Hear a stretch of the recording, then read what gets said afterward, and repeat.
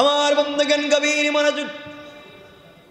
আল্লাহর পয়গম্বর আখরি জামানার নবী, সরকারে কায়নাত দো জাহানের সরদার নবী রহমত, জনাবে মোহাম্মদ রসুল্লাহ সাল্লাল্লাহু আলাইহি ওয়াসাল্লাম দুনিয়ার জমিন থেকে চলে যাওয়ার অনেক দিন পরে। একজন আল্লাহর গোলাম যিনি আল্লাহকে বড় ভালোবাসেন, ভয় করেন রসুলে পাককে মোহাব্বত করেন। জান্নাতে যেতে চায়, একমাত্র, কেবলমাত্র আল্লাহকে সন্তুষ্ট করতে চায়। দুনিয়ার জমিনে শুধুমাত্র, কেবলমাত্র এবাদত করে আল্লাহকে সন্তুষ্ট করতে চায়। এবাদতের জন্য একটা নিরিবিলি জায়গার প্রয়োজন অনুভব করলেন, যেখানে দিল খুলে চক্ষুর চোখের পানি ছেড়ে রবকে কান্না করে করে নিজের মনের কথা বলা যায়। কারণ আপনি যদি কারও কাছে নিজের মনের কথা বলতে হয়, অবশ্যই তাকে আপনি একা একা খুঁজবে। আপনি যদি আপনার এলাকায় এমপি মন্ত্রী বা কারও কাছে কোনো জিনিস চাইতে হয়, আপনি পাবলিকের সামনে বলতে চান না। আপনি একা একা জায়গা খুঁজে নিবৃতে একা কীর্তে যেন তাকে কিছু বলা যায়। আল্লাহর গোলাম আল্লাহকে একা একা খুঁজতে লাগলেন। আল্লাহকে একা একা নিবৃতে ডাক দিয়ে বলবেন, আল্লাহ, ভুল করেছি, অপরাধ হয়ে গিয়েছে, একমাত্র কেবলমাত্র তোমাকে চাই, জান্নাতে যেতে চাই, নিজেকে জাহান্নাম থেকে বাঁচাতে চাই। আয় আল্লাহ তাআলা, তোমাকে ছাড়া তো আমার চলে না। আল্লাহর ওলি এভাবে আল্লাহকে চাওয়ার জন্যে আল্লাহর কাছে ডাকবার জন্য জায়গা খুঁজলেন। একটা জায়গা পেয়ে গেলেন। খাদেমদেরকে বললেন শোনাব আমি যখন গর্তের ভিতরে প্রবেশ করে ইবাদতে নিমগ্ন হয়ে যাব, আমি যখন ইবাদতে লেগে যাব, মানুষজন যেন আমাকে খুঁজে না পায়। এই জন্যে গুহার পাশে ছিল একটা বিশাল বড় একটা পাথরের খণ্ড।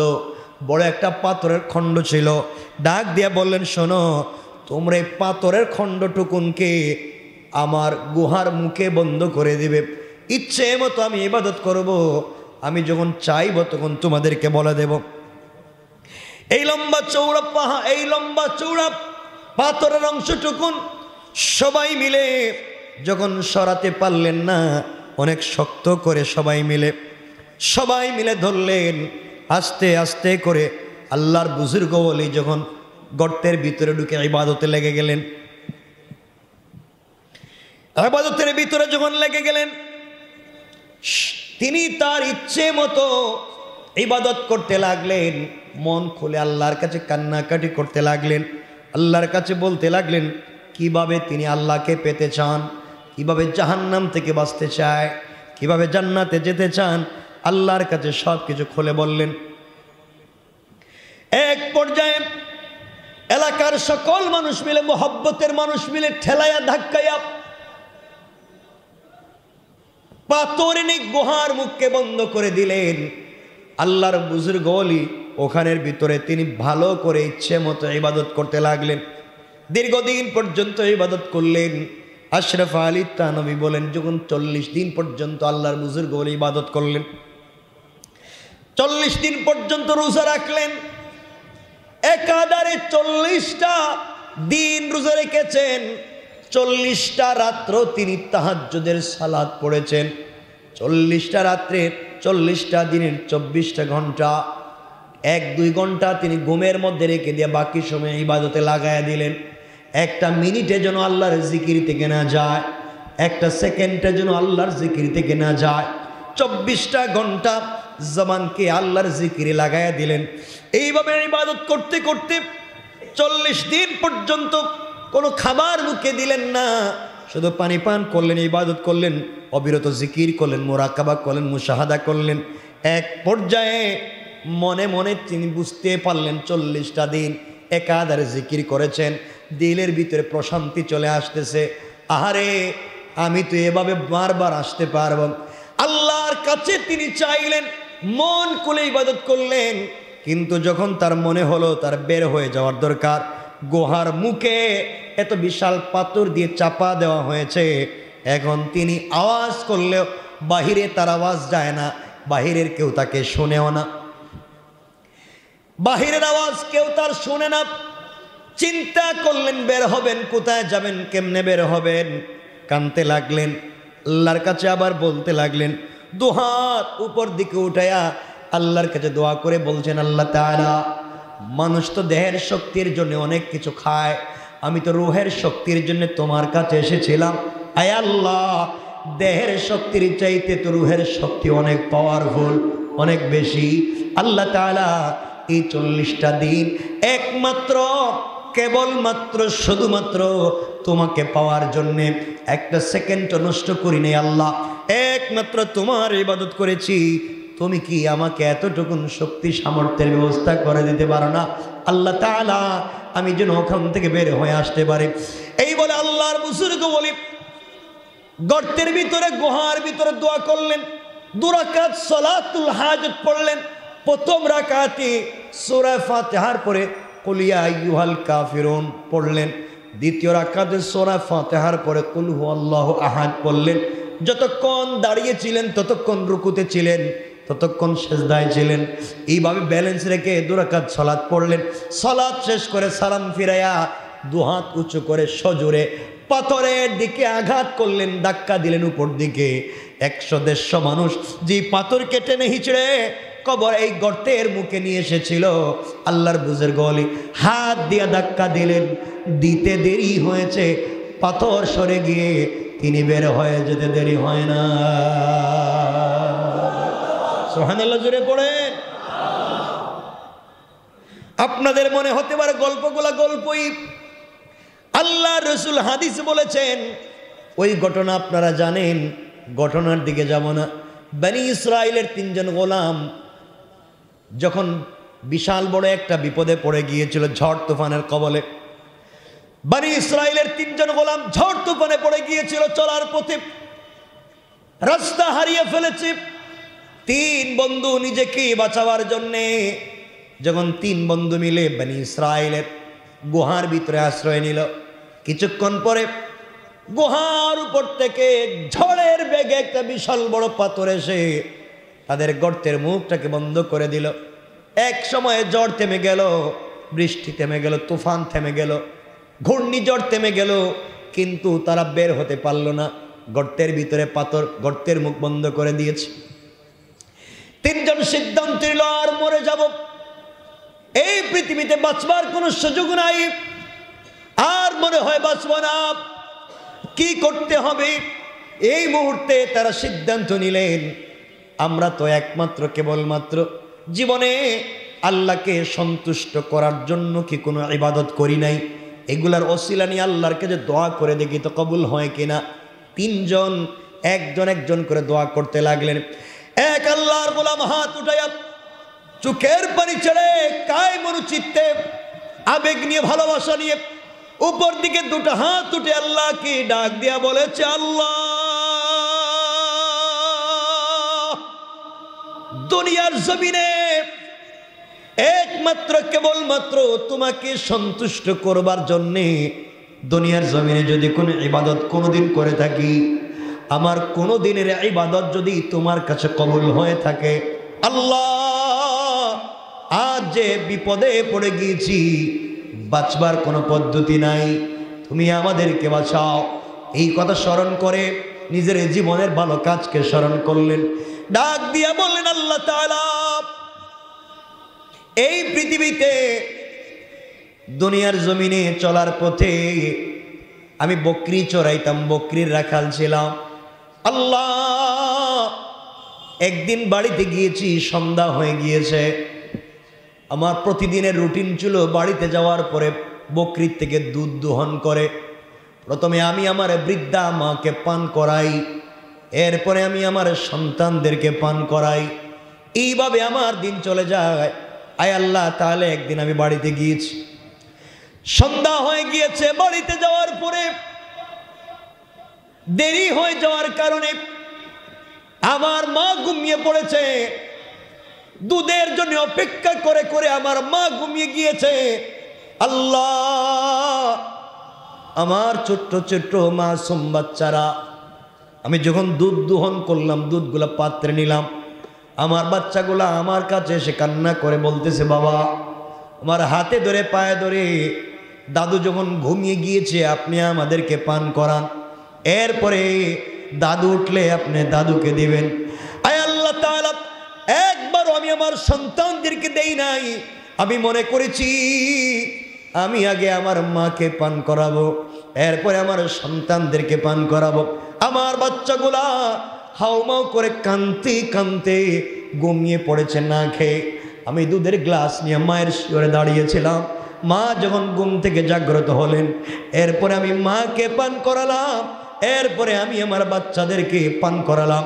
আয় আল্লাহ, ওই দিনের কাজ যদি নির্বেজাল একমাত্র কেবলমাত্র তোমাকে সন্তুষ্ট করবার জন্য হয়ে থাকে আল্লাহ। আপনি কি খুশি হবেন না? ওই কাজেরও সিলাই হলেও আপনি আমাদেরকে বাছাইয়া দেন। দিল কুলে চুকের পানি ছেড়ে ডাক দিয়া বলেছে, বলতে দেরি হয়েছে।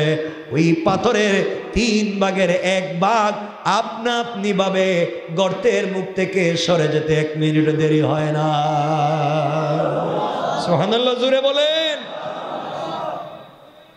তাহলে বোঝা গেল রুহের শক্তি আছে, নাই? বলেন, নাই? আমার বন্ধুগণ আর একজন হাত উঠিয়ে ধরেছে আল্লাহকে চিৎকার করে ডাক দিয়ে বলেছে, আল্লাহ, আমার জিন্দগিতে আমার স্বপ্ন ছিল আমার চাচাতো বোনকে বিয়ে করব, করতে পারি নাই কিন্তু প্রতিদিন নিয়ত করতাম, চাচাতো বোনকে ফুসলাইয়া হলো তার সাথে মেলামেশা করব। কোনোদিন পারি নাই, কত ট্রাই করলাম, কত চেষ্টা করলাম। আয় আল্লাহ, একদিন আমার চাচাতো বোন বিপদে পড়ে গিয়েছে। পয়সার জন্য আমার কাছে এসেছে। সে আমার কাছে এসে বলেছে, ভাই, আমাকে একটু সহযোগিতা করো। আমি এটাকে সুবর্ণ সুযোগ মনে করলাম। আল্লাহ, আমি আমার চাচাতো বোনকে বলছি, দেখো, আমি তোমাকে পয়সা দিতে পারব, শর্ত হলো যা চাইবা তুমি তাই পাইবা। শর্ত হলো তোমাকেও আমি একান্তে পাওয়া লাগবে। শর্তে যদি রাজি হও, তোমাকে পয়সা দিতে পারব, টাকা দিতে পারব। আয় আল্লাহ এক পর্যায়ে আমার বোন রাজি হয়ে গেল। আমি তাকে টাকা দিয়েছি। নির্ধারিত রাত আমরা একত্রিত হব। জায়গা নির্ধারণ করেছি। ওই ঘরের ভিতরে আমিও প্রবেশ করলাম। আমার চাচাতো বোন দাঁড়িয়ে আছে। চোখের পানি ছেড়ে ছেড়ে কামতেছে ঘরের ভিতরে গিয়ে আমি যখন তার হাত ধরেছি, সে আমাকে ডাক দিয়ে বলেছে, বাইরে, আমি হলাম আমানত। তুমি আমানত নষ্ট করতে পারো না। তুমি যদি আমার সঙ্গে জেনা করো, হারাম করো, কেমনি আল্লাহর সামনে মুখ দেখাবা? কি আল্লাহর কাছে কি জবাব দিবা? আল্লাহর সামনে কি জবাব দিবা? এইভাবে যখন আমার চাচাতো বোনটা চোখের পানি ছেড়ে আমাকে ডাক দিয়ে বলেছে, আল্লাহ, আমার ভিতরে ভয় ঢুকে গিয়েছে। আমি তার হাত ছেড়ে দিয়েছি। ও মো করে চোখের পানি ছেড়ে গড় থেকে বের হয়ে গিয়েছি। আয় আল্লাহ তাআলা জানতে চাই, ওই দিনের এই যে ভয় পাওয়া যদি একমাত্র তোমাকে সন্তুষ্ট করবার জন্য হয়ে থাকে, আজ তুমি আমাদেরকে বাঁচাই হয়েছে পা, পাথরটা। তিন ভাগের দুই ভাগ সরে যেতে দেরি হয় না।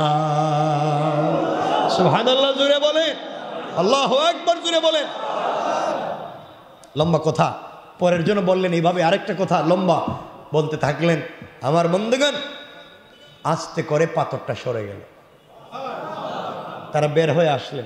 এটা হাদিসের অংশ, হাদিস থেকে বলছি, সুতরাং রোহানি শক্তি আছে না নাই?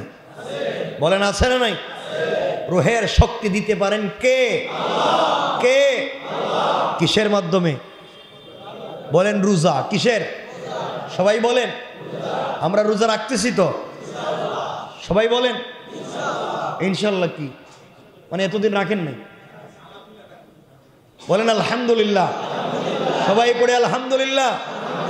আমরা রোজা রাখতেছি এবং আগামীতে রাখব ইনশাল্লাহ বলেন ইনশাল্লাহ আমার বন্ধুগান এই দুনিয়ার জমিনে আল্লাহ রব্বুল ইজ্জতুল জালাল আমাদেরকে বলেছেন, আমরা যেখান থেকে শুরু করতে চেয়েছিলাম, এই দুনিয়ার জমিনে রোজাদারের দোয়াকেই আল্লাহ বলছেন ইফতারের আগে কবুল করেন। তো আসতে বললেন। জোরে বলেন না সোহান কে কবুল করবেন? কে? কেউ যদি রোজা রেখে আল্লাহর কাছে হাত উঠে আল্লাহ ফিরিয়ে দিবেন আল্লাহ রব্বুল ইজ্জত জালাল কোরআনে কারীমের 19 নম্বর পারা 25 নম্বর সূরা সূরা আল ফুরকানের 65 নম্বর আয়াত থেকে আল্লাহ বলছেন ওয়াল্লাযীনা ইয়াকুলুনা ربنا اصرف عنا عذاب جهنم إن عذابها كان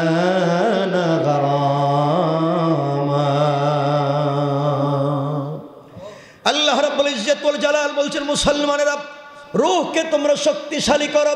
রোহ যদি পাওয়ারফুল হয়ে যায় কেয়ামতের আগে তো মৃত্যুর আগে তোমরা যদি রোহকে শক্তিশালী করে হাত উঠে দোয়া করো, সাকারাতের আগে গারগারা শুরু হয়ে যাওয়ার আগে, কবরে চলে যাওয়ার আগে, মালাকুল মুত আজরাইল পৌঁছে যাওয়ার আগে, সাদা কাপড়ে প্যাকেটিং হয়ে যাওয়ার আগে, যে গোলাম আমি আল্লাহর কাছে হাত উঠাইয়া তবা করবে তবা করতে দেরি হবে।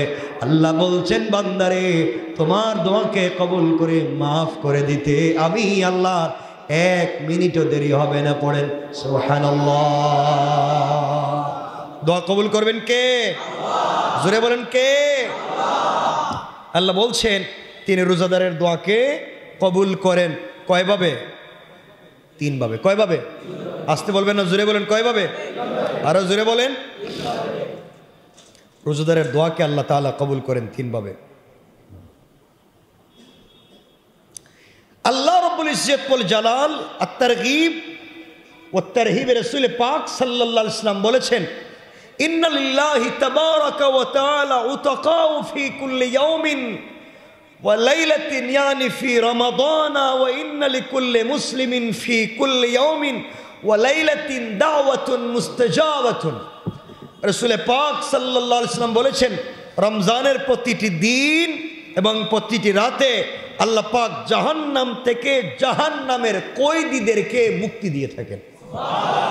আর একটা জোরে বলেন। যারা জাহান্নামের অনন্তকালের কয়েদি যাদের আর মাহফির সম্ভাবনা নাই রসুলে পাক বলেছেন আল্লাহ বলেছেন এমন কয়েদিদেরকেও প্রতিদিন এবং প্রতি রাত্রে আল্লাহ জাহান্নাম থেকে মুক্তি দিয়ে থাকেন। সুবহানাল্লাহ, তো আসতে বললেন। কাকে মাফ করেন? জাহান্নামের? কইদি কইদি মানে কি? যার সাজা হয়েছে নাকি? অপরাধ একটা সাজা হয় নাই, আরেকটা অপরাধ।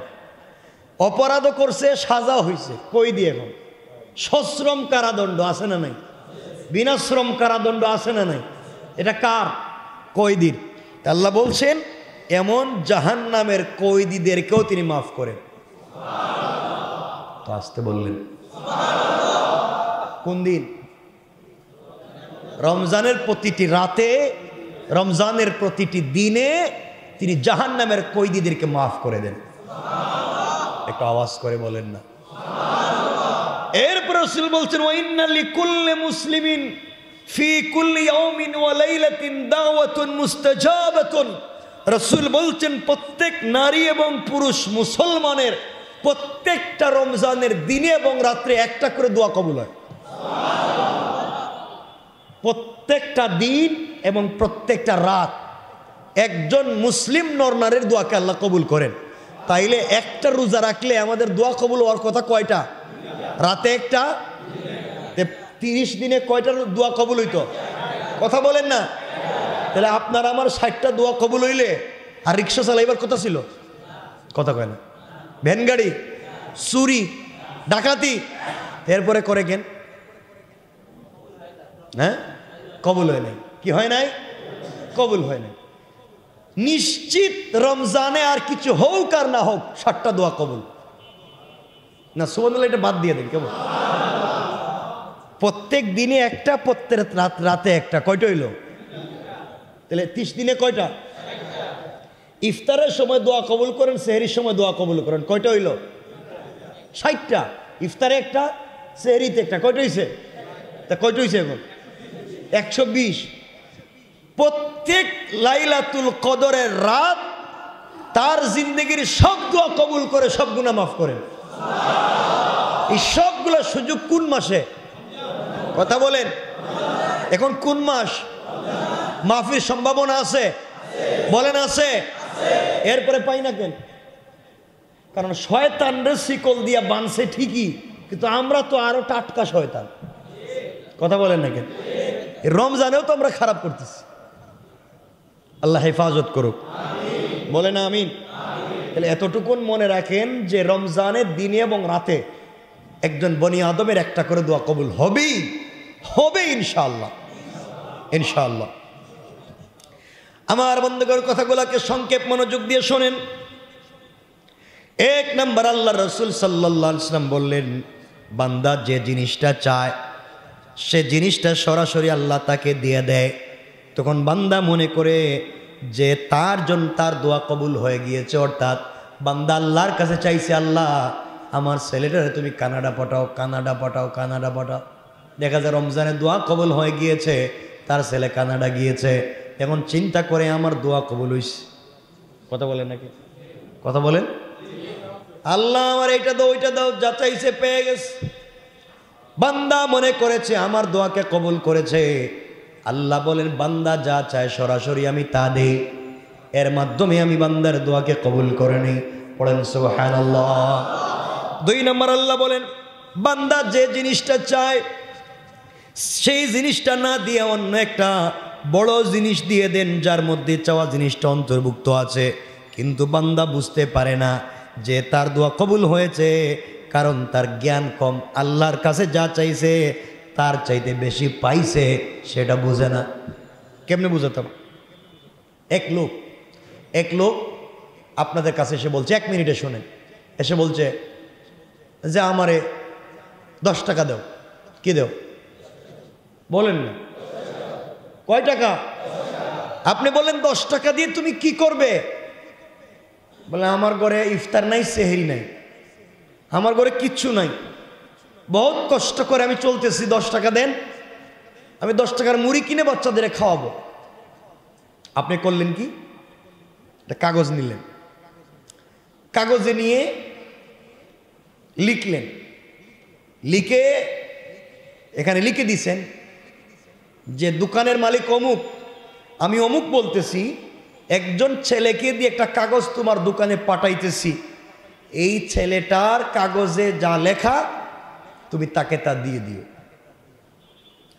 ছেলেটা তো অশিক্ষিত, চাইছে কয় টাকা? আপনি তারা দিলেন কাগজ। সে কি করবে কোন তো রাখবে না, ফেলে দিবে? চাইলাম দশ টাকা। হ্যাঁ আমার দে কাগজ। কত বড় কৃপন ফালাই দিন ছেলেটা যদি বুঝদার হয়, কাগজে যদি দেখবে লেখা আছে, যার কাছে দশ টাকা চাইলাম সে লিখে দিছে, এক দোকানের নাম বলে, এই কাগজটা দোকানে যাও, দোকানের মালিককে কাগজটা দিও। লিখে দিয়েছে দোকানের মালিক, এই ছেলেটাকে পুরা এক মাসের সেহেরি, ইফতারে যা লাগবে সব খাবার দিবেন, তার বউ বাচ্চার কাপড় দিবেন, তার যা লাগে সব দিবেন।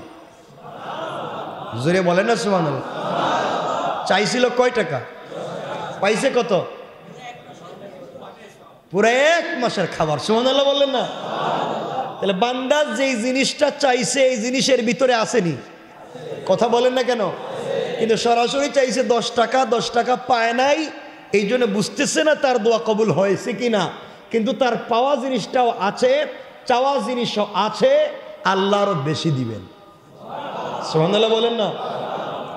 বান্দা আল্লাহর কাছে যা চায় আল্লাহ হয়তো বাড়াইয়া দেন, কিন্তু কৌশলে দেন।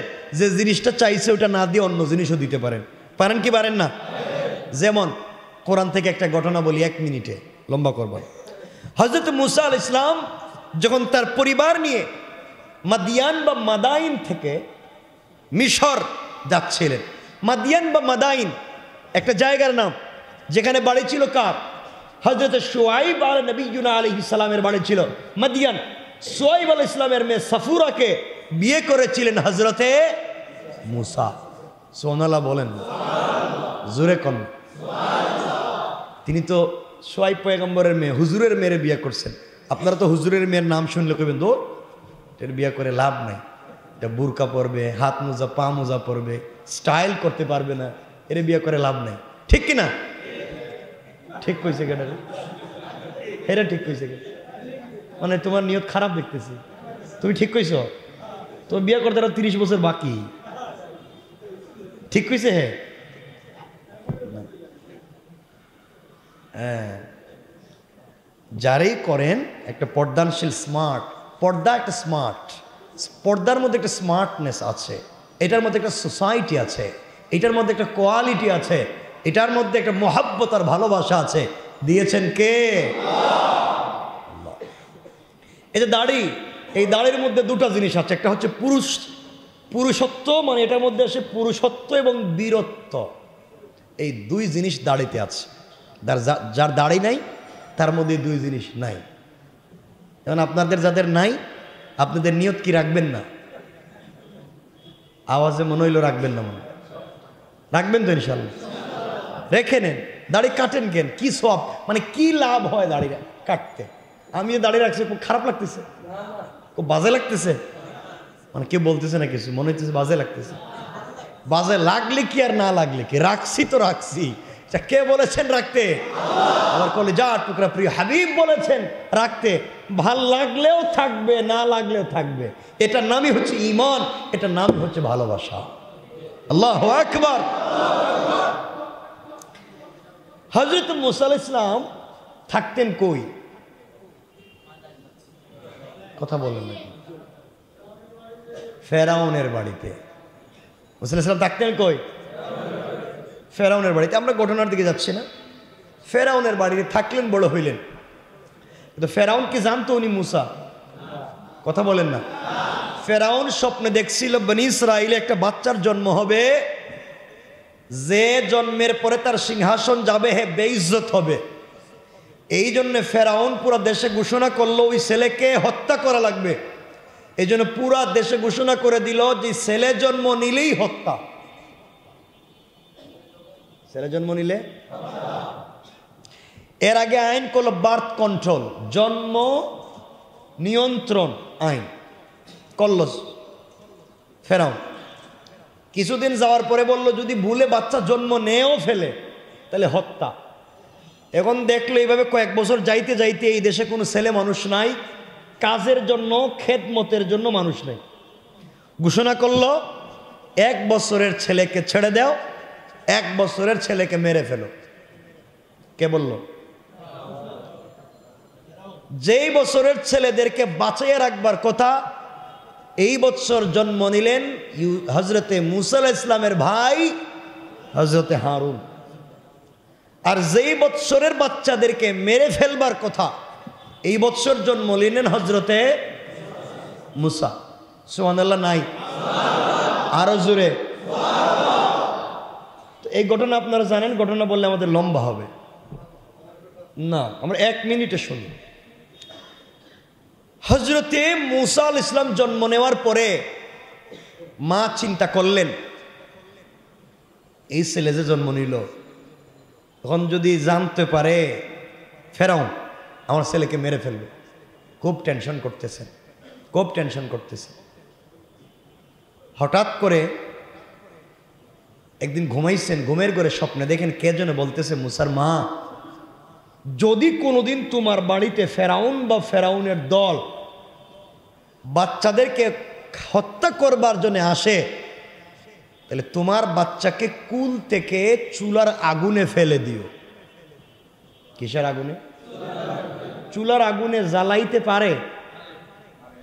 কয় না কিছু? চুলার আগুনে জ্বালায় না? আগুনের কাজ জ্বালানো। কি? সবাই বলেন। মুসার মাজন স্বপ্ন দেখলেন। তিনি বললেন, কই কি? আমার কলিজার টুকরো ছেলে আগুনে ফেলে দেব। বিষয় কি? পরের দিন আবার স্বপ্ন দেখলেন। পরের দিন আবার স্বপ্ন দেখলেন। তিনি বললেন, আমার বাচ্চারা যে আগুনে ফেলে দিব, আমার বাচ্চাকে বাঁচাবে কে? আওয়াজ দিলেন, বাঁচাবো আমি। এই আওয়াজে বললে হবে না। আরও জুড়ে আমার মুসলমান বন্ধুগণ গভীর মনোযোগ। এক পর্যায়ে মুসার মা দেখেন, সকালবেলা ফেরাউনের বাহিনী বাড়িতে বাড়িতে ঘরে ঘরে বাচ্চাদেরকে কষতে লাগল। আস্তে আস্তে মুসার মা দেখেন তার বাড়িতে ঢুকে গিয়েছে। খুঁজতে লাগল, এই বাড়িতে কোনো বাচ্চা আছে কিনা? মুসার মার মনে পড়ে গিয়েছে, আমার চোখের সামনে আমার বাচ্চাকে টুকরা টুকরা করে দেবে। এর চাইতে স্বপ্নে দেখলাম বাচ্চাকে আগুনের ভিতরে ফেলে দেওয়ার জন্যে। জানি না হয়তো কেউ না কেউ বাঁচাইয়া দিতে পারে। আল্লাহর উপরে ভরসা করে, চুলার ভিতরে দাও দাও করে আগুন জ্বালাইয়া নিজের কলেজার টুকরা সন্তানকে আগুনের ভিতরে ফেলে দিয়েছেন। আগুন মানুষকে জানা, জ্বালা এটা সত্য। আগুন জ্বালিয়ে ছাই করে দেয় এটা সত্য। আর আল্লাহর উপরে তার বিশ্বাস ছিল, এটাও সত্য। কথা বলেন না কেন? আল্লাহর উপরে বিশ্বাসের শক্তি বেশি। না, আগুনের শক্তি বেশি। কথা বলেন? বিশ্বাসের শক্তি বেশি না কম? বলেন, কম না বেশি? ফেলে দিন আমার বন্ধুগণ, আগুনে ফেলে দেওয়ার পরে ফেরাউনের বাহিনী বাড়ির ভিতরে ঢুকে গিয়েছে। বাচ্চা খুঁজতে লাগল, খুঁজে খুঁজে পায় না। ঘরের কোনো জায়গায় পায় না। ডাক দিয়া বলছে, চুলার ভিতরে কি আগুন জ্বলে? তিনি বলছেন, তোমরা খুঁজে দেখো আমার ঘরে কিছু আছে কিনা। আমি তো বললাম, তোমরা খোঁজো। পুরা ঘর তারা খুঁজতে লাগল, কোনো বাচ্চাকে পাওয়া যায় কিনা? মুসার মা মুসাকে আগুনে ফেলে দিলেন। তারা আর চুলার দিকে যায় নাই, কারণ চুলার ভিতরে দাউ দাউ করে আগুন জ্বলে। এখানে তো কেউ কোনো বাচ্চাকে ফেলে দিতে পারে না। সবাই যখন চলে গিয়েছে, মুসার মা আস্তে আস্তে করে আগুনের কাছে যাচ্ছেন আর কানতেছেন আর বলতেছেন, আল্লাহ, আমার বাচ্চা হয়তো জ্বলে পড়ে চাই হয়ে গিয়েছে।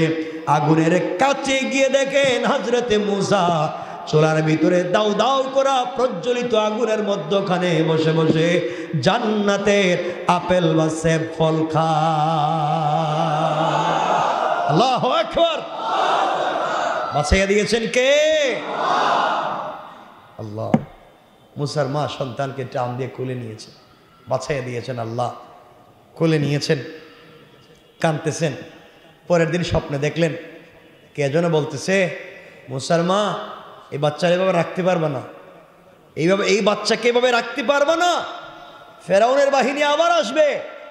এর চাইতে একটা সিন্দুক বানাইয়া, বাচ্চাটাকে সিন্ধুকে দিয়া নদীতে ফেলে দাও। একদিন, দুই দিন স্বপ্ন দেখলেন তিন দিন আবার দেখলেন। তিনি বললেন, আমার বাচ্চাকে আগুন, নদীতে ফালাইয়া দিলে বাঁচবো কেমনে? তিনি বললেন, যে তোমার বাচ্চাকে আগুন থেকে বাঁচিয়ে দিয়েছে, সেই তোমার বাচ্চাকে পানিতেও বাঁচাইয়া দিবে। আল্লাহ আকবার।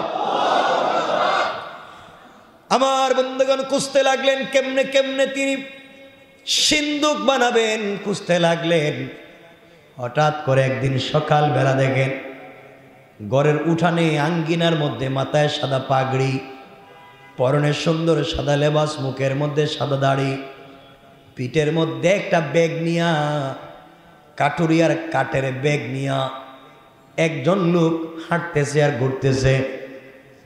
মুসার মা বলছেন, কে তুমি? এখানে হাঁটাহাঁটি করা কেন? উনি ডাক দিয়ে বলতেছেন, আমি আর কেউ না। আমি একজন কাঠ মিস্ত্রি কি মিস্ত্রি? মুসার মা বললেন কাঠ মিস্ত্রি তুমি।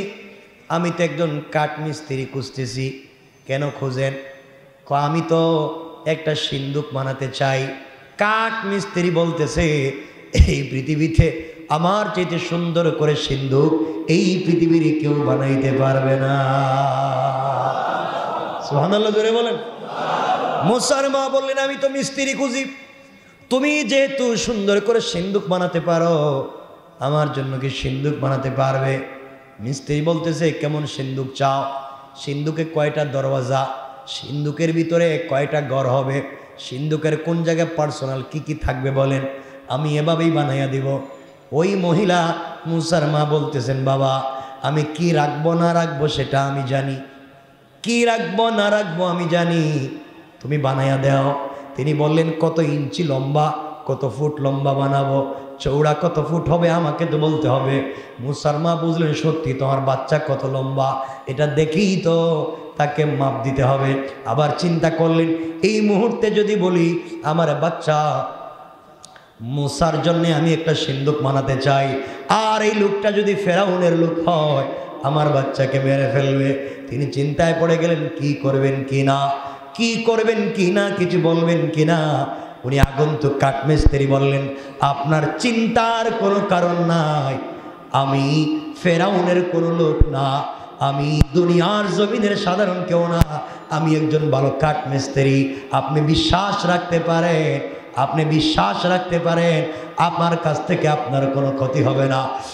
মুসারমা ডাক দিয়ে বলছেন, বাবা সত্যি যদি তা হয়, তোমাকে বলতে চাই, শোনা। আমার একটা বাচ্চা আছে, যার নাম রেখেছে মূসা। এই বাচ্চার জন্য সিন্দুক বানাতে চাই। ফেরাউন আমার বাচ্চাটাকে হত্যা করতে চায়। তুমি আমাকে বললে, আমি তোমাকে দেখায় দিতে পারি। কিন্তু তোমাকে তো আমি চিনি না। তিনি আশ্বস্ত করে বলছেন, মা টেনশনের কোনো কারণ নাই। বিশ্বাস রাখুন, আমার দ্বারা আপনার কোনো ক্ষতি হবে না। আমার বন্ধুগণ, কাঠ বের করে দিলেন। কাঠ বের করে যখন দিয়েছে এমন স্বয়ং মুসার মা বললেন, পাতাম কোথায় পাবেন? লোহা কোথায় পাবেন? কি দেয়া জয়েন্ট দিবেন? মুসার মা ঘরের দরজার চিপায় দাঁড়িয়ে আছেন। তাকাইয়া দেখেন মিস্ত্রি কাঠ হাতে নে, মুখ থেকে লালা বের করে লাগাইয়া দে। আর ওই দুইটা কাঠ আপনা আপনি জয়েন্ট হয়ে যায় মোসারবা আশ্চর্য হয়ে চুকের পরিচয় আল্লাহকে ডাক দিয়া বলছে, আল্লাহ! এমন মিস্ত্রি পৃথিবীতে আর দেখি নাই। কাঠের মধ্যে জয়েন্ট লাগাইয়া দে, মুখের লালা দিয়া। যখন সুন্দর করে একটা সিন্ধুক হয়ে গিয়েছে, মুসার মা ডাক দিয়ে বলছেন, আমার বাচ্চাটাকে এটার ভিতরে রাখতে হবে। আমার বন্ধুগণ, এমন সময়, এমন সময়ে কি করা যায়, কি করবেন, কি না চিন্তায় পড়ে গেলেন, কি করা লাগবে? মুসার মা বাচ্চাটাকে দিচ্ছেন না। এমন সময় সিন্ধুক যে বানিয়ে দিয়েছে, মিস্ত্রি ডাক দিয়ে বলছে, মুসার মা আমি ফেরাউনের লোক না, দুনিয়ার সাধারণ কোনো মানুষ না। আল্লাহ তালা আমাকে পাঠিয়ে দিয়েছেন সিন্ধুক বানিয়ে দেওয়ার জন্যে। আমি হলাম আল্লাহর রহমতের ফিরিস্তা। আমার নাম হলো হজরত জীবরাই আমি এসেছি।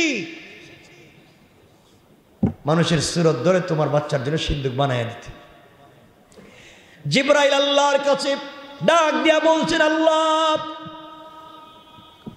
আপনার পয়গম্বরকে আমি সুন্দর সিন্ধুকের ভিতরে রাখব। আয় আল্লাহ, কাঠের সিন্ধুকে রাখলে তো তার ব্যথা হবে, পিঠে কষ্ট হবে। আল্লাহ বললেন, ও জিব্রাইল, আমার বন্ধুরে কষ্ট দিতে চাই না। জান্নাত থেকে, জান্নাতুল ফিরদাউস থেকে বাচ্চাদের লেপ তুষক নিয়ে যাও সুবহানাল্লাহ বলেন। ওগুলো বিছায় দাও। বিছিয়ে দিয়েছে। আল্লাহ বলছে, ও জিব্রাইল, উনি আমার পয়গম্বর হবে। তুমি আমার পয়গম্বরকে কুলে নিবা, হাতকে শক্ত করতে পারবা না, হাত নরম করে কুলে নিবা। আল্লাহর কাছে বলছেন, আল্লাহ, তুমি আমাকে মন ভালোবাসা, পূর্ণ হাত দাও। মুসা আমার হাতে নিলেই যেন ঘুমিয়ে পড়ে যায়। বলে। লম্বা হয়ে যেতেছে। মুসার মা মোসাকে জিবরিলের কুলে দিলেন। জিবরিলের কুলে গিয়েই মোসা ঘুমায় গেছে। এত আসতে বললেন? না ঘুমাইলে তো সিন্ধুকে রাখা যাবে না। সিন্ধুকে রেখে দিলেন, দরজার মুখ লাগাইয়া দিলেন আর বলছেন, মোসার মা ওটার নদীতে ফালাইয়া দিও। বাঁচাবেন কে? কে? মার মন। মার মনকে আর সব মানে। নদীতে ফেলে দিয়া মুসল ইসলামের বোন ছিল কুলসুম। কুলসুমকে বলছেন, যা, তুমি দেখো, এই সিন্ধুকটা কই যায়? আপনারা গ্রামে একটা কথা বলে না, যেখানে বাঘের বয়, সেখানে রাত হয়। আস্তে আস্তে যেতে যেতে সিন্ধুক ফেরাউনের ঘাটে। সুমান আল্লাহ এটা কি তো রমজানের পর? রমজানের পরে কি তো সুমান আল্লাহ কইবেন নি? কই গেছে? ফেরাউনের গাঁটে গিয়ে সিন্ধুক লেগে গিয়েছে আর যায় না। খুলসুম জঙ্গল থেকে সব দেখতেছে। লম্বা কথা, ফেরাউনের স্ত্রী আসিয়া অথবা ফেরাউনের, আর এটা পালক মেয়ে ছিল, ওই মেয়ের দাসীরা তাকে গোসল করাবার জন্য আসছিল পানি নিতে।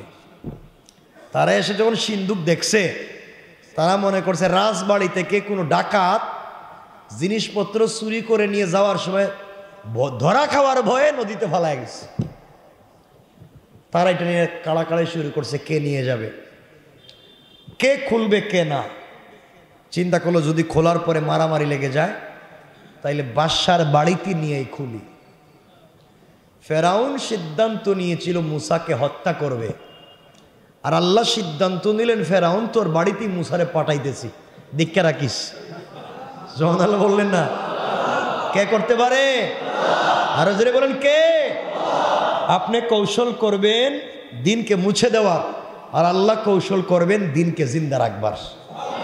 আল্লাহ পারেন কি পারেন না? এই জন্য আল্লাহ কোরআনে বলছেন ওয়া মাকারু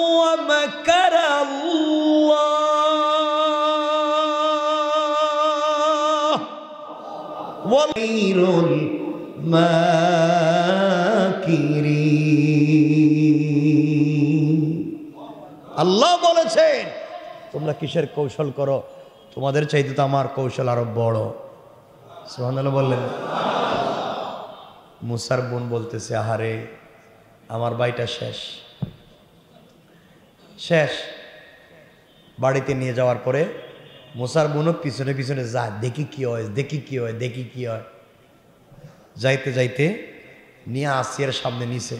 নিয়ে বলছে "তো দেখো, এটা আমরা নদীতে পাইছি। কেবুদের রাজবাড়ি থেকে কিছু চুরি করে নিয়ে যাওয়ার সময় নদীতে ফালায় দিছে। আপনার সামনে খুলতে চাই। আপনার সামনে? সোহান আল্লাহ নাই। আল্লাহ এতক্ষণ মুসারে নোটিশ করেছিলেন, মুসা, সন্দুকের ভিতরে কানতেও পারব না, নড়াচড়াও করতে পারব না। এখন যখন তারা সবাই সিদ্ধান্ত নিয়েছে, সিন্দুকের মুখ খুলবে। আল্লাহ মুসাকে নোটিশ করছেন, মুসা, কানতে পারব না, কথাও বলতে পারব না। কিন্তু সিন্দুকের মুখ খুললেই আসিয়ার দিকে তাকাই একটা মুস্কি হাসি দিবা। আল্লাহ যখন সিন্ধুকের মুখটা খুলছে আর বড় চোখ করে মুস্কি হাসি দিয়া আসিয়ার দিকে তাকাইছে, আসিয়া সাথে সাথে কুলে নিয়ে চুম্বন শুরু করছে। আমার বাচ্চা কাচ্চা নাই। জীবনে বাচ্চা কাচ্চা পাইলাম না। যাক, একটা বাচ্চাকে পাইলাম। আমার ঠান্ডা কুল, আমার শীতল হয়ে গিয়েছে আমার কলিজা। এই বাচ্চাটারে আমি লালন পালন করব। আসিয়ার তো কোনো বাচ্চা নাই, ফেরাউনের কোনো বাচ্চা নাই। আমার বন্ধুগণ, এখন আসিয়া দৌড় দিছেন রাজ। সিংহাসনে গিয়ে বলছেন, ফেরাউন, আসো। কি হয়েছে কয়ে, আসো। জুবানে তোমার কাছে কিছু চাই নাই। আজ একটা জিনিস তোমার কাছে চাইব। ফেরাউন বলছে, আসিয়া, তোমার এত ভালোবাসি, তুমি যদি পুরা রাজ সিংহাসন চাও, তাও তোমারে দিয়ে দিব। আসিয়া বলতেছে, আমি এত কিছু চাইব না, ছোট্ট একটা জিনিস চাইব, আজকে তুমি দিবা কিনে হেডা কও। ফেরাউন মাথায় হাত দিয়ে বলছে, কথা দিলাম দিব সোহানাল্লাহ বললেন, ফেরাউন তো জানে না তার আজরাহিল আল্লাহ একবার বললেন না।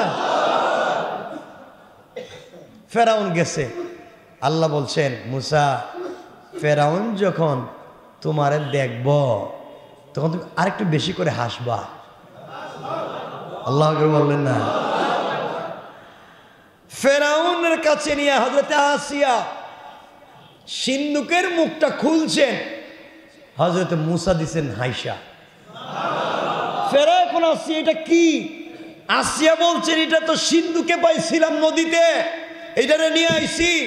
ফেরাউনকে আমার কোনো বাচ্চা নাই, এটারই আমি লালন পালন করব। আল্লাহ একবার এটাই আমার পরবর্তী বংশধর, এরে বাঁচায় রাখব। আল্লাহ কয়, তোর গড়েই ফাটাইস তুই এরে মারতে চাইছস, এরে তোর গড়েই রাখতেছি ফেরাউন কাসিয়া, বাচ্চাটার চেহারা সুরত তো খারাপ না, মারাত্মক সুন্দর। কিন্তু আমার বয় হইতেছে, এটা কি হেডে নাকি? কারণ যার ভিতরে ভয়, জঙ্গলে গেলেও পুলিশের ভয় থাকে। ঠিক কি না পাতার পাতা লতা যদি বেঙ্গে ওনারা দেখো, পুলিশ। কথা ঠিক নেই ফেরাউন কো মন ওই ডুইব তোমার কি মাথা খারাপ হয়েছে আমি আনলাম পানি থেকে। আর সিন্দুক এটা কি আমাদের দেশের কোনো মেস্তেরি বানানো সিন্দুক আমাদের দেশের মেস্ত্রিরা কি কি এভাবে সিন্দুক বানায়? সিন্দুকে দেখেন না? কোনো লোহা দেখা যাচ্ছে না? কই, তাও তো ঠিক। আমাদের দেশের মিস্ত্রিরা তো সিন্দুক বানায় না। ওইটা মনে হয় অন্য কোনো দেশ থেকে বন্যায় বাসায় আইছে। কোথাও হইতে পারে। বাচ্চার চেহারাও তো সুন্দর। আমাদের দেশের পাবলিকের সাথে মিশে না। এটা মনে হয় অন্য দেশ থেকে আইছে। কই, এটাই অন্য দেশ থেকে। আসছে কি করা যায়? ওটা লালন পালন করুন। ওইটার আমার কুলে দেও না। নেন। হজরত মুসারে কুলি নিয়ে চুম্বন দেয়। সোহানাল্লাহ বললেন না? আল্লাহকে মুসা, তুই মারতে, আল্লাহকে ভেরান মারতে চাইছিস মুসারে, এবার মহব্বত কর, নিজে খাওয়াইয়া বড় কর। কয়, আমার ছেলের আকিকা হবে, পুরো দেশে ঘোষণা করো, আকিকা। আল্লাহকে মুসা, ফেরাউন, যখন তোমারে কুলে নিব, তখন হাউ মাউ করে কান্না শুরু করে দিও। সোহান আল্লাহ নাই। মুসারে যখন ফেরাউন কুলে নিছে, নিতেই দেরি এখন ও মা ও মা ঠিক নি বাচ্চারা কান্না করে না? হুয়া করা শুরু করছে। ও তো কান্না থামেই না থামেই না। আল্লাহ বলছেন, মুসা, থামাইস না আর বাড়াইয়া দে। স্পিরিট বাড়া। কান্না তো থামে না। ফেরাউনকে আসি এই বাচ্চারা তো বাঁচানো যাবে না। এই বাচ্চারা তো খাওয়াইতে হইব। দেখো তো, আমাদের দেশের কারও দুধ এই বাচ্চাটা খায় কিনা, দুধ খাওয়াইয়া বাঁচাও। রাত বাড়িতে যত মহিলার বাচ্চা ছিল দুধ পান করাবার জন্যে, মুখে স্তনের বুটা দেয় আল্লাহ বলছেন, মুসা, খবরদার মহিলা গেলো খাইবে না। ফালাই দিবা, বমি করে দিবা। আল্লাহ করে বললেন, না। আরও জোরে বলেন, আল্লাহ। এক পর্যায়ে মুসা তো কান্নাও থামায় না, কারও দুধ পান করে না। ফেরাউন দেখলা হা বাচ্চাটা বাঁচবে না। এবারই বোধহয় মইরে যাইব। কারও দুধ পান করেন এক পর্যায়ে ফেরাউন বলে দিয়েছে, শোনো, যেই বাচ্চাটাকে দুধ পান করাতে পারবে, যেই বাচ্চাকে দুধ পান করাবে, সে যা চাইবে তাই পাইবে। আল্লাহ একবার মুসার বোন কুলসুম আসেনি। বলেন না। আসতে বললেন? আরও বলেন? কুলসুম কয়, মনে মনে, এই বাচ্চা তো আমার মার দুধ ছাড়া কারও খাইতো না। সোহান বললেন না। এই জন্য আমার আল্লাহ বলছেন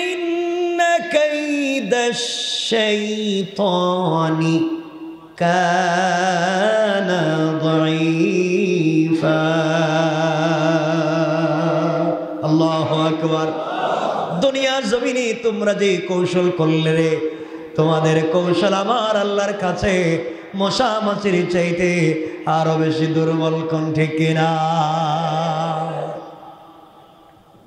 কলসুম কয়, বাদশাহ, আমার কাছে এক মেয়ের, এক মহিলার সংবাদ আছে। নিজের মার কথা কয় না। ফেরাউন জানলে কি কাউরে আস্ত রাখবে না মেরে ফেলবে? আমার জানা মতে আমার কাছে একজন মহিলা আছে। এই দুনিয়ার সব বাচ্চাই এই মহিলার দুধ পান করে। আমার মনে হয় এই ছেলেটাও করব। এই ছেলে তার কি?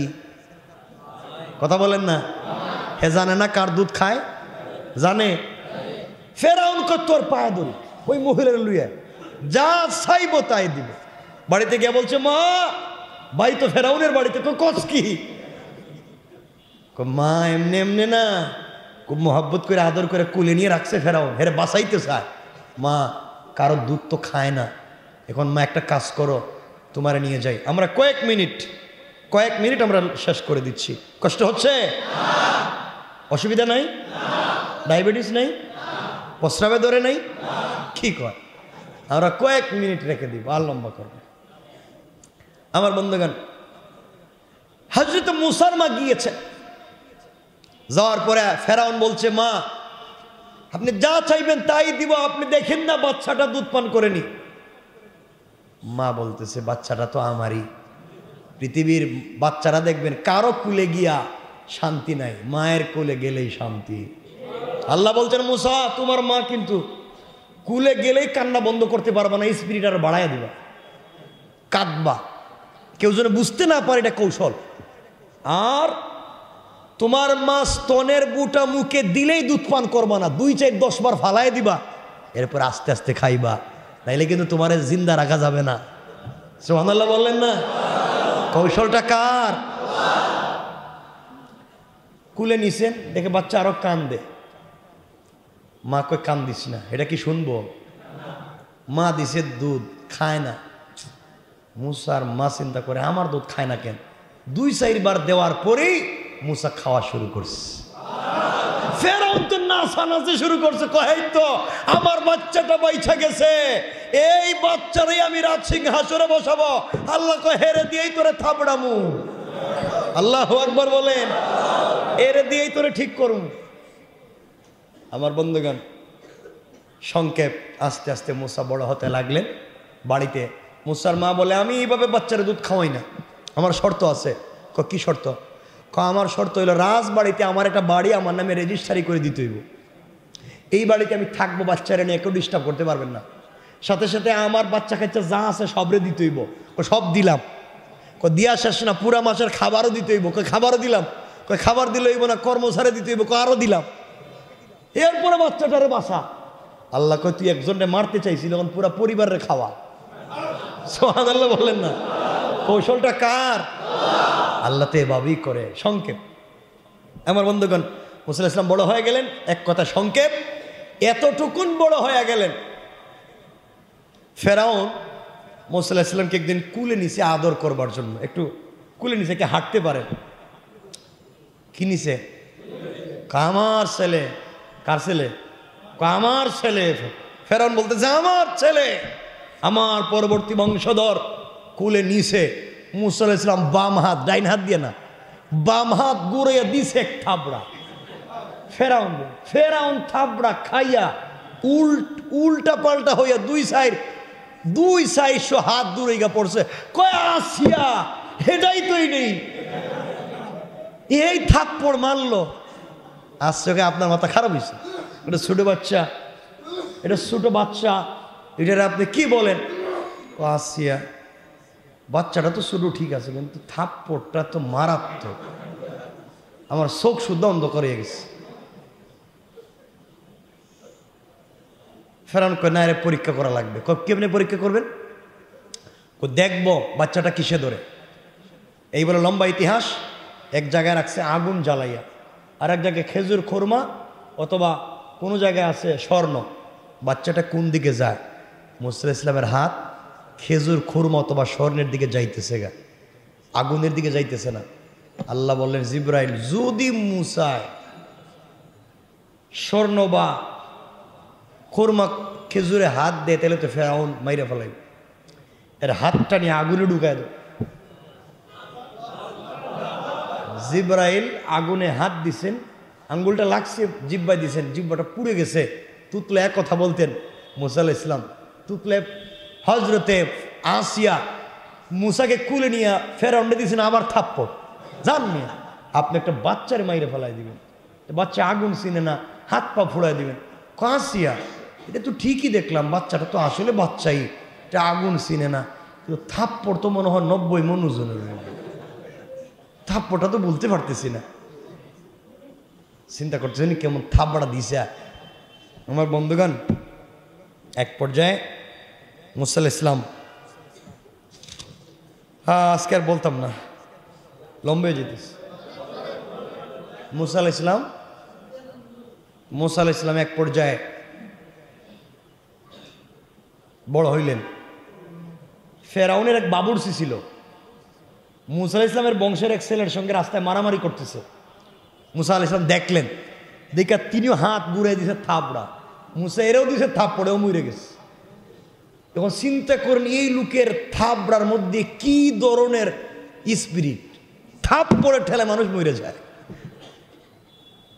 মুসলা ইসলাম যখন দেখলেন বাবুরসি মরছে মুসা বুঝলেন, আমার আর ফেরাউন বাসে রাখবে না। এলাকা ছেড়ে দিলেন। যাইতে যাইতে গেলেন মাদিয়ান বাবা মাদাইন, এই যে সোয়াই পয়গম্বরের এলাকা। যাওয়ার পরে বিকালবেলা গিয়া গাছের গুড়ায় বসে রয়েছেন কেউ তো তারা চিনে না। সোয়াইব আল ইসলামের মেয়ে সফোরা এবং তার বোনরা মিলে তারা বকরি রাখালি করতেন, উট চড়াইতেন। তারা গিয়েছিলেন উটকে পানি পান করাবার জন্যে। কূপে, গিয়ে দেখেন কূপের মুখ কে বন্ধ করে রেখে দিস দুই বোন টানতেছেন উঠে না। মুসুল ইসলাম দেখলেন। তিনি তাদের কষ্ট দেখে হাত দিয়ে টান দিছেন, মুখটা উঠে গেছে। শক্তি দিছে কে? দুই বোন আচ্ছা মতো পানি পান করাইয়া বাড়িতে চলে যাচ্ছে। মুসা গাছের গোড়ায় বসে রয়েছে বাড়িতে যাওয়ার পরে সোহেব ইসলাম জিজ্ঞেস করলেন, তোমাদের দেরি হলো কেন? তারা পুরো ঘটনা খুলে বললেন। বলছেন, বাবা, যেই ছেলেটা আমাদেরকে সহযোগিতা করছে, ও গাছের নিচে। বললেন, যাও, নিয়ে আস। ইউস হজরত মুসুল ইসলামকে নিয়ে গেলেন। যাওয়ার পরে শোয়েব ইসলাম বললেন, আমার ঘরে থাকতে হলে কর্মচারী হতে হবে। ছেলেটার চরিত্র দেখে মুগ্ধ হয়ে গেলেন। তিনি বললেন, তোমাকে আমার বড় মেয়েটার বিয়ে দিতে চাই। বিয়ে করতে হলে শর্ত হলে আমার বাড়িতে খাস করতে হইব গরু রাখতে হইব, ছাগল রাখতে হইব। তিনি বলেন ঠিক আছে, থাকার তো জায়গা পাইলাম, ফেরাউন থেকে তো বাঁচলাম। মনে মনে কর। কিছুদিন বসবাস করলেন। সোয়াইব পয়গাম্বর সফুরাকে বিয়ে করলেন, বাচ্চা কাচ্চা হইল। একদিন সিদ্ধান্ত নিলেন, আর কত শ্বশুর বাড়িতে ঘর জামাই? কি জামাই? এখানে কেউ আসনি ঘর জামাই?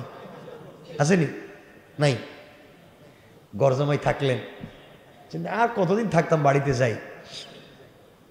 একদিন বাড়িতে যেতে শুরু করলেন। যেতে যেতে অনেক দূর যাওয়ার পর রাস্তায় তীব্র শীত এবং কুয়াশা অন্ধকার ছিল। স্ত্রী ছিলেন প্রেগনেন্ট, গর্ভবতী। রাস্তায় গিয়ে প্রসব বেদনা শুরু হয়েছে কিন্তু কোনো আগুন নাই, অন্ধকার। মুসল ইসলাম বাচ্চাদেরকে একটা গাছের গুড়ায় বসে বলেন বাবারা, তোমাদের মায়ের সাথে এখানে থাকো।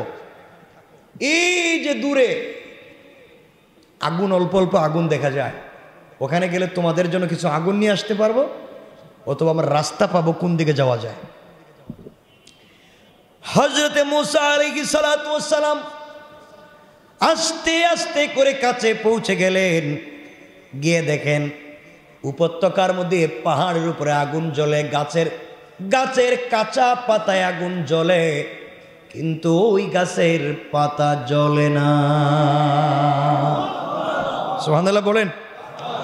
ওই জায়গায় পৌঁছে যাওয়ার পরে কোরআনে করিমের বিশ নম্বর সোরা সোরায় তোহার, এগারো থেকে চোদ্দ নম্বর আয়াতে আল্লাহ বললেন, মুসা পৌঁছে গেলেন।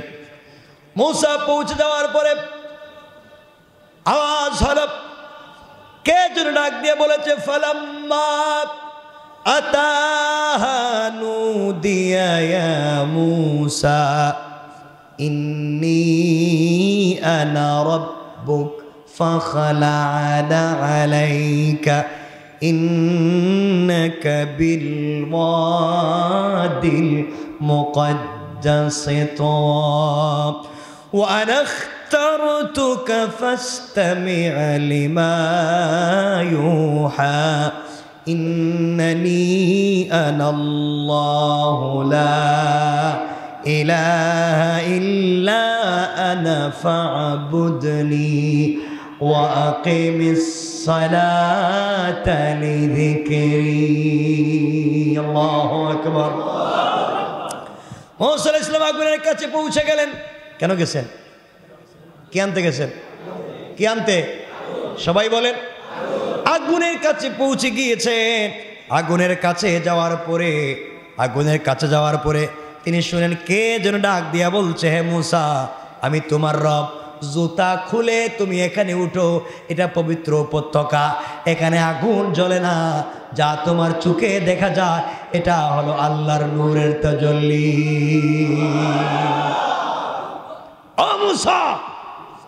থামো। জুতা খুলে আসো। মোসল ইসলাম, এখানে গেলেন। আমি তোমাকে মনোনীত করেছি, ওয়াহি দিব। তুমি নবী এবং রসুল। মুসল ইসলাম, গেলেন কি আনতে?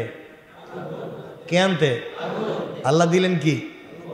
নবুয়ত চাইছেন আগুন, পাইছেন ছোট দিছে না বড় দিছে? মানে আগুনের জন্য গেছিলেন, আগুন তো পান নাই। আল্লাহ বলেন, তোমাকে দিলাম দুইটা মজাজা। কয়টা মজাজা? কয়টা? হাতে কি মুসার এটা তো বললাম না, বলব না। একটা মজা হলো বগল তলায় হাত নিয়ে বাইর করলে হাত দশ ব্যাটারি লাইটের মতো আলোকিত হয়ে যায়। যাও, তোমাকে দিলাম মজা হজরত মুসা ইসলাম মজাজা পাইলেন। আমার বন্ধুগণ, গেছিলেন চুলার আগুন আনতে। আল্লাহ দিলেন মজাজা। চাইছিলেন ছুটো দিছেন? তাইলে বান্দার দোয়া এভাবেই কবুল হয়।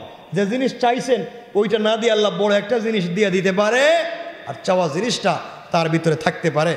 তিন নম্বর যেইভাবে দোয়া কবুল হয়, যে জিনিসটা চাওয়া, সেই জিনিসটাও সরাসরি দেয় না, আবার কোনো জিনিসও দেয় না, আবার এমন জিনিসও দেয় না, যার মধ্যেই জিনিস আছে। অর্থাৎ বড় দেয় না ছোটো দেয় না, যা চাই তাও দেয় না, বড় জিনিসও দেয় না।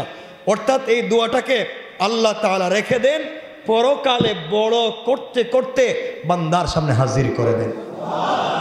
রোজাদারের কবুল হয় কয়ভাবে বলেন কয়ভাবে এক যেই জিনিস চাই ওই জিনিস দিয়ে দিবেন দুই যেই জিনিস চাই ওই জিনিস না দিয়া বড় একটা জিনিস দিবেন ওইটার ভিতরে আছে তিন নাম্বার যেই জিনিস চাইলাম ওটাও দিল না বড় জিনিসও দিল না দুয়াল্লাহ কবুল করে রেখে দিলেন রিজার্ভ করে কেয়ামতের দিন বান্দাকে দেওয়ার জন্য পড়েন সুবহান আল্লাহ আল্লাহ আমাদের সবাইকে কবুল করক আল্লাহ আমিন ربنا ظلمنا أنفسنا وإن لم تغفر لنا وترحمنا لنكونن من الخاسرين.